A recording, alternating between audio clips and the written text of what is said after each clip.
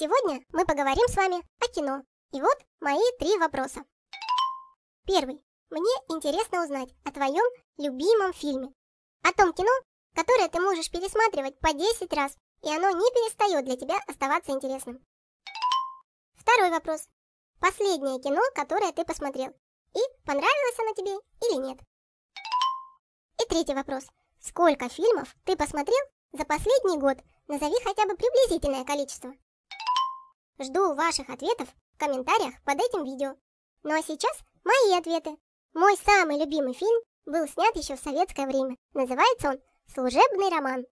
Последний фильм, который я смотрела, назывался «Один плюс один». В фильме есть и драма, и комедия. Это очень трогательная история, основанная на реальных событиях. И, безусловно, фильм мне очень понравился. Ну и последнее. Я всегда точно могу ответить, сколько фильмов я посмотрела за тот или иной период.